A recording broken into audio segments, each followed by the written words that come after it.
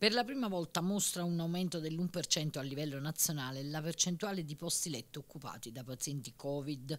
Raggiunge infatti il 3%, quota molto bassa rispetto ai picchi di mesi passati, ma che rispecchia l'aumento dei contagi dei giorni scorsi.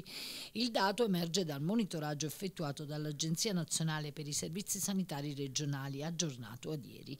Resta ancora stabile dai primi di luglio e pari al 2% il numero di posti letto in terapia intensiva occupati occupati. In campagna sono 301 i nuovi positivi, nel bollettino dell'unità di crisi non si segnalano vittime. I posti letto occupati nelle terapie intensive sono 11, quelli di degenza salgono a 180.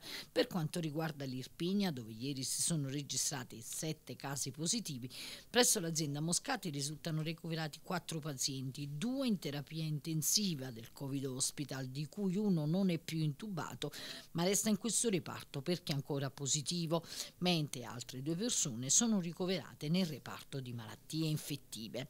Intanto Vincenzo De Luca preannuncia la proroga dell'ordinanza sull'obbligo delle mascherine all'aperto.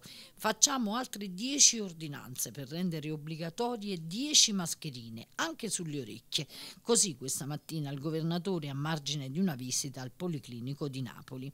Quando diciamo che chi si vaccina è immunizzato per il 92% al massimo, dobbiamo sapere sapere che anche con la seconda dose c'è un 10% che si contagia.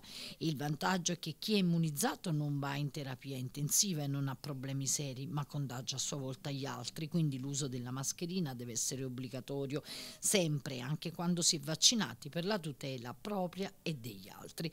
È davvero un martirio portare la mascherina. Certo, è un piccolo fastidio, ma in campo abbiamo una grande protezione e un aiuto per tornare alla vita normale. Un po' di buon senso.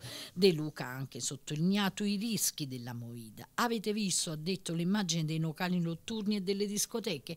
Anche quando fanno finta di avere ingressi controllati, 20, 10, 30 persone, arrivano l'una e le due di notte e si scatenano, entrano centinaia di persone a fare quello che vogliono. Non va bene.